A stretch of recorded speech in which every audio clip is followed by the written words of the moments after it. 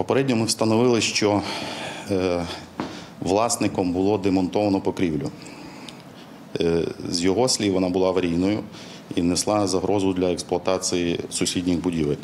Ну, знову ж таки, в ході перевірки ми встановимо, що було зроблено і е, чи вимагали ці роботи дозвільних документів. Відповідно до інформації управління культури і туризму Рівненської міської ради, дана будівля не є пам'яткою архітектури місцевого чи національного значення. Якщо це виключно заміна покрівлі, е, то не потрібно набувати право на виконання будівельних робіт згідно законодавства. Але виключно тоді, коли не, е, е, немає втручання в несучі або огороджуючої конструкції.